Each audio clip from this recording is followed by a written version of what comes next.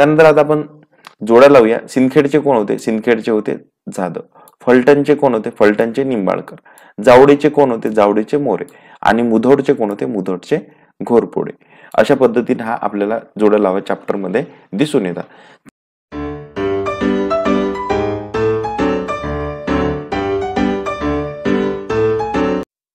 नमस्कार मित्रांनो. GK check point या युट्यूब चॅनलवर तुम्हा सर्वांचं स्वागत आहे.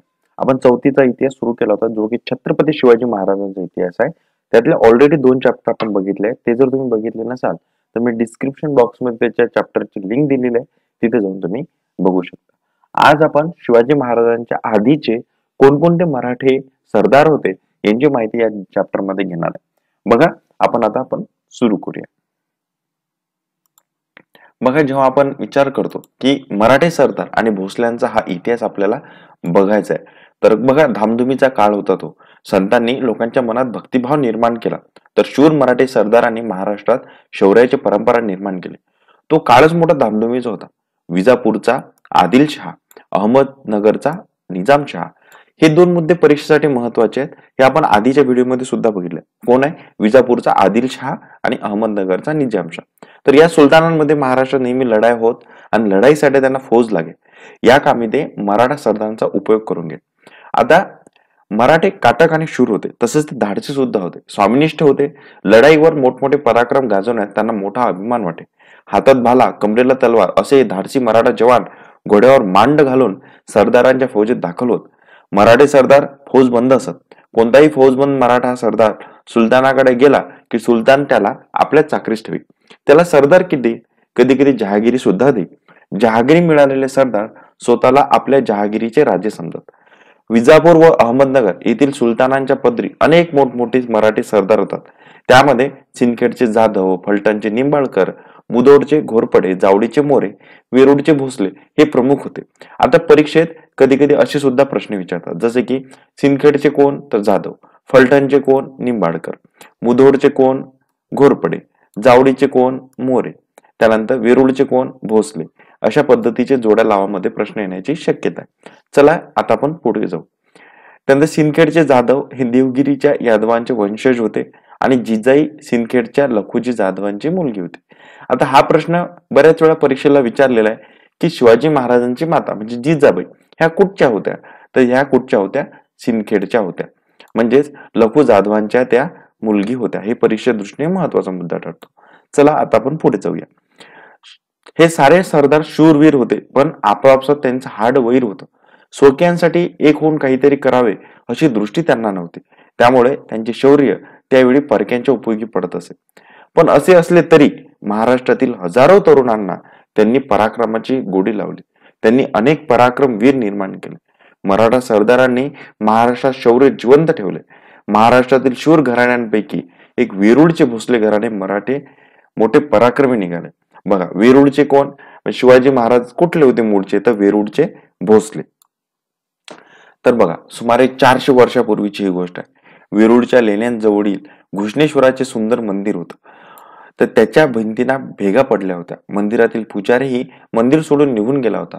एवढे महान दैवत. पण कोण अवकाळा आली होती त्या मंदिरावर? त्या मंदिराकडे पाहून भक्तांना हळहळ वाटे. येणारे जाणारे हळहळत. उसासे सोडत. पण त्याच्या दुरुस्तीचा विचार कोण करतो? त्या पडक्या मंदिरात एक शिवभक्त नित्य नियमाने येत असे. शिवाच्या पिंडीवर बेलफूल वाहत असे. हात जोडून आपल्या मनातले श्री शिवाला सांगत असे. एक दिवस त्याने गडी माणसे आणली. मंदिराच्या पडक्या भीती नीट केल्या मंदिराची सारी अव्यवस्था लावली. घुष्णेश्वराचा जीर्णोद्धार केला. मंदिराच्या आत बाहेर दिवे लावले. घुष्णेश्वराचे गेलेले वैभव परतले. हे कोणी केले? हे कोण होते शिवभक्त? ते होते मालोजीराजे भोसले. आता हे वेरूळचे भोसले बघा. वेरूळचे गावचे पाटील मालोजी राजे भोसले हे थोर शिवभक्त होते. विठोजी राजे त्यांचा धाकटा भाऊ होता. वेरुळच्या बाबाजी राजे भोसलेंची ही मुलं होती. वेरूळ गावचे पाटीलकी बाबाजी राजे भोसल्यांकडे होते. मालोजी राजे व विठोजी राजे मोठे कर्तबगार होते. तसेच ते शूर सुद्धा होते. त्यांच्या पदरी पुष्कळ हत्यारबंद मराठी होते. तो काळ फार धामधुमीचा होता. निजामशाहीवर उत्तरेच्या मुघल बादशाने स्वारी केली होती. त्यावेळी दौलताबाद ही निजामशाहीची राजधानी होती. हा प्रश्न सुद्धा परीक्षेसाठी महत्त्वाचा ठरतो की दौल निजामशाहीची राजधानी कोणती होती? तर दौलताबाद हे निजामशाहीची राजधानी होती. तेथे मलिक अंबर नावाचा वजीर होता. मलिक अंबर हा सुद्धा महत्त्वाचा ठरतो. तर त्याचा वजीर होता.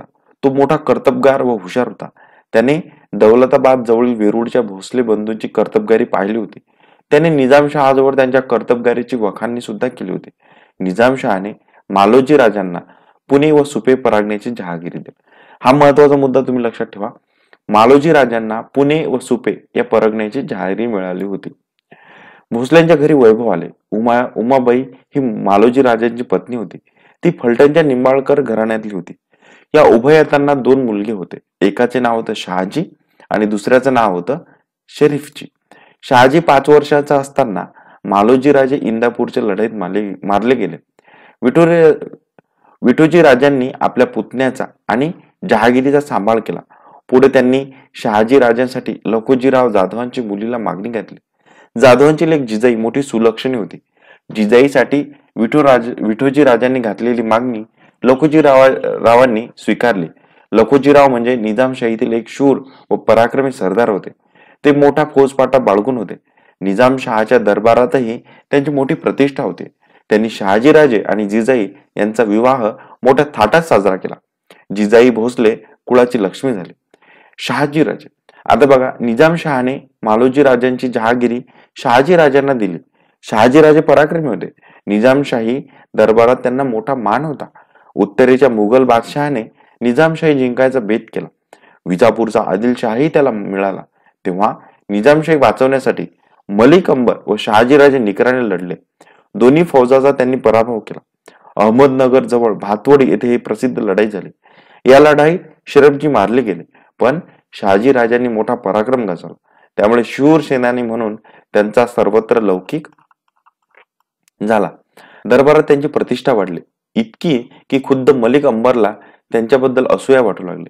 त्यातून उभयंतात वितुष्ट निर्माण झाले. शहाजी राजाने निजामशाही सोडले आणि ते विजापूरच्या आदिलशहाला जाऊन मिळाले. आदिलशहाने त्यांना सरलष्कर हा किताब देऊन त्यांचा सन्मान केला. पुढे निजामशाहीत बऱ्याच घडामोडी झाल्या. वजीर मलिक अंबर मृत्यू पावला. त्यांचा पुत्र फत्ते खान हा मोठा कारस्थान होता तो आता निजामशाहीचा वजीर झाला. त्याच्या काळात निजामशाहीला उतरती कळा आली आणि मुघलांच्या स्वारीचा धोका निर्माण झाला. त्यातून काय झालं? निजामशाही सावरण्यासाठी निजामशहाच्या आईने शहाजी राजांकडे परत येण्यासाठी साकडे घेतले. तेव्हा शहाजी राजे आदिलशहा सोडून निजामशाहीत परत आले. अशा पद्धतीने मराठी सरदारांची एक पार्श्वभूमी आपल्याला दिसून येते. कधी इकडे कधी तिकडे. स्वतःचं स्वराज्य असं म्हणून काही नव्हतं. अशा पद्धतीने हा चॅप्टर तुम्हाला ओव्हरऑल दिसून येतो. यावरचे आपण आता प्रश्न बघूया. स्वाध्यायामध्ये नेमकं काय? बघा महाराष्ट्रातील शूर घराण्यांपैकी वेरूळचे. वेरूळचे कोण होतं? तर वेरूळचे हे भोसले होते. बाबाजी राजे भोसल्यांना मालोजी व शरीफची अशी दोन मुले होती. त्यानंतर निजामशहाचा हा कर्तबगार वजीर होता. निजामशहाचा कोण कर्तबगार वजीर होता? तर मलिक अंबर हा निजामशहाचा कर्तबगार वजीर होता. त्यानंतर आता आपण जोड्या लावूया. सिंदखेडचे कोण होते? सिंदखेडचे होते जाधव. फलटणचे कोण होते? फलटणचे निंबाळकर. जावडीचे कोण होते? जावडीचे मोरे. आणि मुधोडचे कोण होते? मुधोडचे घोरपोडे. अशा पद्धतीने हा आपल्याला जोड्या लावा चॅप्टरमध्ये दिसून येतात. चला तर मग मित्रांनो भेटूया आपण पुढच्या चॅप्टरमध्ये. शिवाजी महाराजांचा इतिहास जो की आपण मिस करू शकत नाही. तुम्ही अजूनही सबस्क्राईब केलं नसेल तर नक्की करा आणि तुमच्या मित्रांना सुद्धा सांगा. भेटूया पुढच्या व्हिडिओमध्ये धन्यवाद.